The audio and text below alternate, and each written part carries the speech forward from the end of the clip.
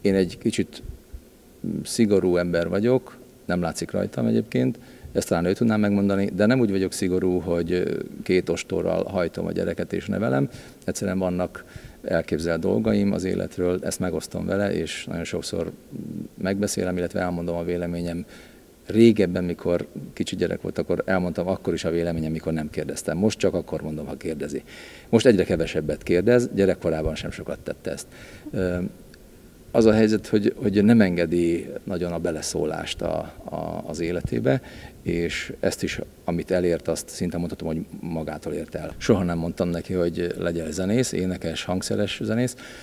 Meghallottam négy-öt évesen elénekelni a, a Guns N' Roses-tól a Knock Knock Knock on Heaven's Door című dalt a, a fürdőkádban ordítva, és azt mondtam, hogy ebből a gyerekből a büdös életben nem lesz zenész.